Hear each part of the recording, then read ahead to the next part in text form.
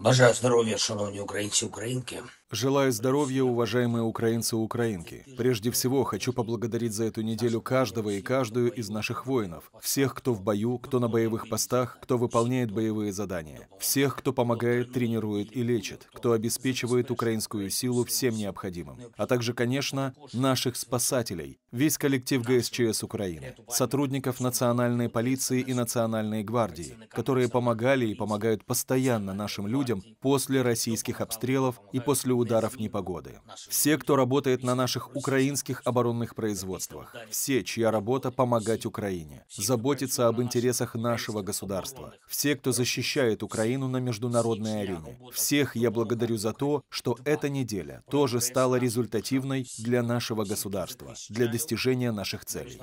Важно, что Россия в эти дни потеряла свое влияние в двух международных институтах. Это Организация по запрету химического оружия и Международная морская организация организация, одна из ключевых в мире, которая занимается безопасностью. Действительно, террористам там не место. И больше в руководящих органах российских представителей не будет. Совершенно справедливо. Хочу отдельно отметить Германию, немецкую помощь нашей защите, нашим действиям. Я особенно благодарен за четкое выполнение договоренностей по ПВО для Украины, по усилению нашего воздушного щита. Это спасение тысяч украинских жизней. Реально сильный результат нашего двустороннего сотрудничества с канцлером Шольцем, со всеми в Германии, кто поддерживает защиту жизни и господство международного права. Есть и очередной оборонный пакет. В частности, это очень нужное снаряды для артиллерии, калибр 155. Спасибо, Олаф. Также важно, что на этой неделе были санкционные шаги от Соединенных Штатов Америки против российских субъектов, поддерживающих экономику агрессии. Это и те, кто помогает нарушать ценовой потолок на российскую нефть, и те, кто в иранских структурах работает на дестабилизацию.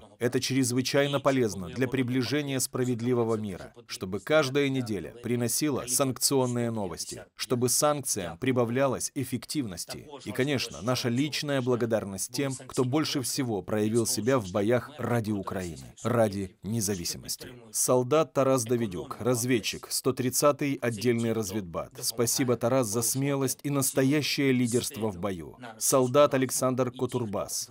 Наша знаменитая 55-я отдельная артиллерийская бригада.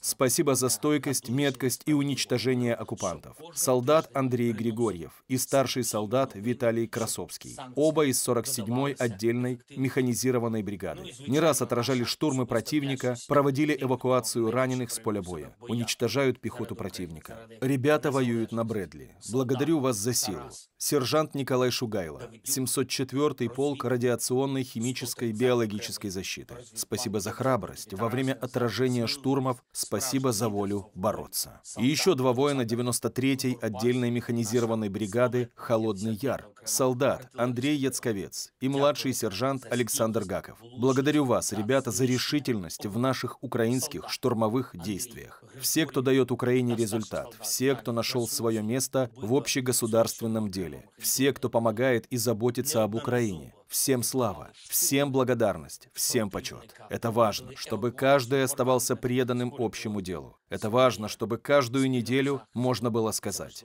я добавил что-то свое к общей защите. Это важно, чтобы действия, конкретные действия миллионов украинцев и украинок каждый день, каждую неделю еще больше укрепляли украинскую силу. Вместе все одолеем. И, пожалуйста, не забывайте обращать внимание на сигналы воздушной тревоги, особенно в эти дни. Не стоит ими пренебрегать. Слава Украине!